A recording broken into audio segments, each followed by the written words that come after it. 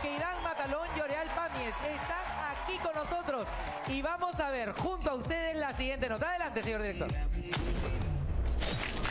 será su estilo, que es bastante guapo, que se le nota sincero. Por eso, con solo 27 años de edad, Idan Matalón ha ganado reconocimiento en redes sociales por sus divertidos y coloquiales videos que comparte a través de su canal en YouTube.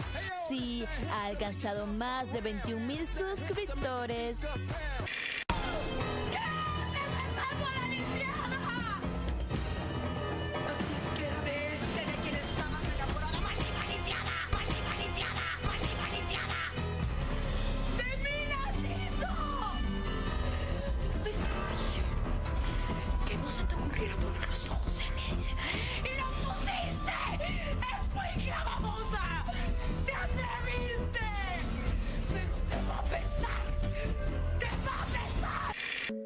Creatividad y disciplina le han permitido convertirse en un videobloguero que a diferencia de un youtuber no hace payasadas para llamar la atención. Vamos a comer helado. No, no puedo. Tú sabes que tengo problema con lactosa, alergia. Ay, por favor, no me importa. Vamos. No, qué malo. No puedo comer helado. Tienes que obedecerme en todo. Todavía no. Y con una actitud así temo que vas a ser un rey bastante patético. Yo no lo creo así. Poderoso rey seré, sin oposición. Pues yo nunca he visto un rey león que no tenga mechón. Habido nadie así, seré la sensación. Incluso Idan decidió hacer un atractivo video para contar sobre su homosexualidad. Fue hace dos años en Israel y muy pronto se volvió tendencia. Nunca había visto a mi madre y padre en una situación así. Después de haber sentido que escondía algo malo en mí, por fin había salido del closet. Me sentí libre. Pude sentir que todo el mundo iba a ver el verdadero Aidan. Mis padres empezaron a sentir mejor, mejor y mejor. Y ellos me vieron feliz. Es lo más importante para ellos. Pero no solo eso, este joven israelí es vicepresidente de la aplicación gratuita Moves, un espacio libre, honesto, pero sobre todo sin complejos para la comunidad homosexual y bisexual. Aquí trabaja con el español Oriol Palmies. Ambos hacen de las suyas por un mundo mejor, con respeto para todos. Qué gran labor la de estos chicos que acaban de estar en Lima haciendo de las suyas país en contra de la tolerancia? Una marcha para promover la desigualdad, la intolerancia y la homofobia. Let's all today pledge an allegiance of love to them and to their families, lost members of the LGBT community.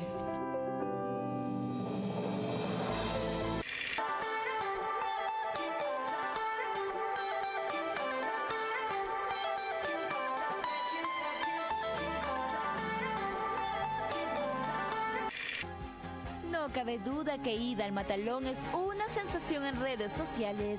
Su destreza le ha permitido visitar diversos sets de televisión. Hace poco estuvo en el programa mexicano El Gordo y la Flaca y contó con un poco de su interés por hacer imitaciones de telenovelas mexicanas y su crear en una red social. Quería hacer algo distinto, algo que le gusta mucho, como las telenovelas. ¿Cómo aprendiste a hablar español? Una manera muy peculiar, ¿verdad? Sí, la verdad que cuando fui muy chiquito, joven, fui, eh, la vi muchas telenovelas en Israel, como El Mariana del Barrio, Muñeca Brava, La Usurpadora, chiquititas y por eso sabes hablar español y también por la música. Que no vas a olvidar en tu vida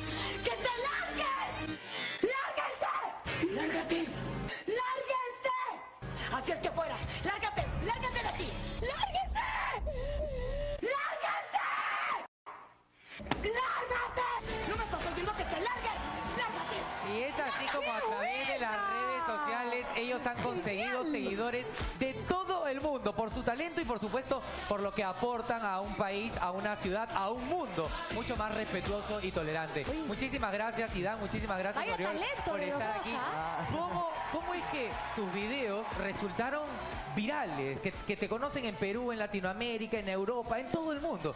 Hablando además tú hebreo y, y- y parodiando novelas mexicanas. ¿Qué tal eh, fusión, no? A ver.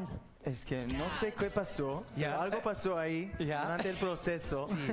Eh, es que tenemos te- canal de telenovelas en Israel y cuando fui muy chiquito como... Tú eras chico y 11, veías la novela mexicana. la la novela Pero por el idioma, por aprender el idioma, porque no Solo sé. leí subtítulos y Ya. escuché la, la- la- toda la, La actuación. todo el drama, Porque drama, drama, tienen drama, como- para los, lengua- para los distintos lenguajes. Y así se te ocurrió, entonces voy a hacer videos y los voy a subir con las novelas mexicanas. Diez años después, sí. Y, y ahora vives años. en México. Ahora vivo en México. A raíz de todo esto, de todo el boom que fueron tus videos y de la aceptación que tuviste en el público. Sí, Perdón, tú eres un Una chico locura. israelí Una que locura. hablabas hebreo, Sí, no tenías sí. nada que ver con la comunidad latina y las novelas mexicanas y se te ocurrió ver esas novelas y empezaste a imitar, ¿no? A doblar las novelas. Sí. ¿Y eso ha hecho que eres famoso ahora internacionalmente? Eh, tal? Es como eso y también por, por todas las cosas que estamos hacemos es como una... ¿Cómo, cómo se conocieron ustedes? ¿Qué Wow. fue lo que hizo esta unión increíble que ha, ha salido de esta aplicación que tienen? Nos conocimos por Facebook. Le mandé mensaje a Oriol porque la vi una foto de él muy guapo. ¿no? ¿Los dos? Ah, ¿Le pero- decir los dos? Pero tú, son le, guapísimos. pero tú le mandaste tipo para salir juntos, así o para. no, no, por- no. Fue, la verdad, me- él me envió un mensaje y me dijo que tenía una idea eh, que quería compartir conmigo. Eh, la idea era conectar a la comunidad LGBT de todo el mundo a través de una aplicación, de una tecnología Que se llama Moves. Eh, Pero tú ya eres youtuber cuando él te contactó. no, yo soy empresario y activista LGBT. ah, ok. Entonces, la fusión entre Irán y yo viene, él se encarga de toda la parte del marketing, la diversión, el entretenimiento. Y el y yo me business. encargo la parte de, De- del empresario. de los Ah, negocios. Y pero así qué es, buena, qué buena mezcla. Pero es una buena Y viven en México. No, bueno, yo hace cuatro años me mudé a, a Israel. Porque tú eres español. ¿A Sí, yo Israel? soy, yo soy español, Pero soy de fue Barcelona. Israel. Tú te fuiste a Israel y él se fue a México. Sí, así Porque la oficina en el comienzo fue en Israel y después eh, ahora en México, pero ahora es como más global, entonces tenemos oficinas también en Brasil, Pero tú en estás en Miami. Israel por el trabajo. Sí, sí, sí, montamos la empresa allí. Entonces, ¿Y, y fue fácil para ti acostumbrarte a vivir ahí? sí, y simplemente les dije a mis padres que Bueno. me iba para 10 ¿Y días. hablas hebreo también? Un poquito. Estamos, hablamos hebreo ahora, como en Perú hay como cosas pequeñas que él como... Y ahora, para ustedes venir a Perú por el trabajo que han hecho y por la llegada que ha tenido, el alcance que ha tenido, que realmente es impresionante, debe ser como surrealista, ¿no? Es increíble. La verdad, además, el recibimiento que hemos tenido. eh, La gente estaba vuelta loca con ustedes, todos querían fotos con ustedes, querían acercarse, los siguen por donde van, cuando hacen sus conexiones en vivo, toda la gente de diferentes partes del mundo. Ahora, la gente puede pensar que esta es una aplicación de encuentros y va mucho más allá de eso, porque hay países en los que este tema es tabú y muchos en los que quizá por conseguir votos o para, para tratar de avanzar el, el el público, la gente, la ciudadanía no está acostumbrada y son marginados. Entonces, la, eh, la aplicación de ustedes sirve también para que mucha gente sepa que, que no están solos. ¿no? correctamente. Eso es muy importante. Es que somos una gran familia. Al final, eh, Facebook conecta gente que son amigos. Nosotros conectamos gente que tiene algo en común. Afines. Pero una pregunta, para ser miembro, ¿ustedes son los que tienen que aceptarlo? ¿Perdón? ¿Ustedes son los que tienen que aceptar a la gente o cualquiera se puede No? Total- totalmente. Ah, cual- Ya ¿tienen la tenemos dos millones de usuarios. ¿Cómo es? Ya tenemos dos millones de usuarios. dos millones de usuarios. ¿Cómo se llama? a la gente en Perú que quiere Claro. ingresar a la aplicación, digan cómo hay que hacer, por favor. Eh, la aplicación se llama Moves, M-O-O-V-Z. ¿Ya? Y puedes entrar en la App Store. Repetimos, M-O O O V-Z. V, chica. o sea, de chica, De chica, Z. Z. ¿Ok? Moves. A ver, señor director, si lo podría ¿Y poner qué abajo la significa move? ¿Tiene un significado? Viene de movimiento. Ah. Queríamos empezar un De movimiento en la comunidad y, y así salió el nombre. Y la verdad, ya he dicho, Edean, tenemos dos millones de usuarios. Eh, crecemos cada día entre 5 y 7 mil. O sea, es, es una familia que se va expandiendo y pues tenemos la oportunidad de ir eh, viajando y conociendo a, pues, a esta gran familia que somos. Y, Ah, o sea, hay un momento que se conocen también todos como, eh, Pues en, físicamente. en este evento eh, que hemos venido hemos tenido la oportunidad de conocer a los usuarios de Moves de, de Perú sí. y, y conectar con ellos y escuchar sus historias y realmente al final lo que impulsamos es pues, a que los derechos igualitarios vayan llegando a, a todo el mundo, ¿no? Por ejemplo, cuéntenos brevemente, cómo- eh, estábamos viendo ahí que tú decidiste hacer un video, Idan. ¿Cómo, cómo, ¿Cómo fue ese momento para ti? Es que yo Entonces, fui un fan de Soraya. Yo, yo, yo soy, en la vida real no soy... De Tati Cantoral. Sí, Tati Ya. Cantoral. Eh, en la vida real no soy dramática, pero cu- cuando hay como, cuando hay cámara, entonces... Te yo- prendes. Sí, yo como... eh, entra la hice, hice lip sync, sí, hice lip sync con mis amigos de, de mi pueblo en Israel por muchos años, Ya. pero ya tenían plataforma como Facebook eh, y todas las Ahora, redes en sociales Israel para... la gente es más conservadora, No. no tanto. No, No, no, ¿no? no, Israel, el como estamos judíos y estamos como muy abiertos. Tel Aviv, que es Tel una Aviv es, ciudad. es la ciudad más gay Como en la que he estado. Él mundo. sabe, él, él, fu- él Por eso llegó desde ahí. Barcelona. ¿Cómo la de? Totalmente. Totalmente. Y ahí dijiste, voy a hacer un video, voy a decirle al mundo, esto no es tan grave, hay que aceptarse.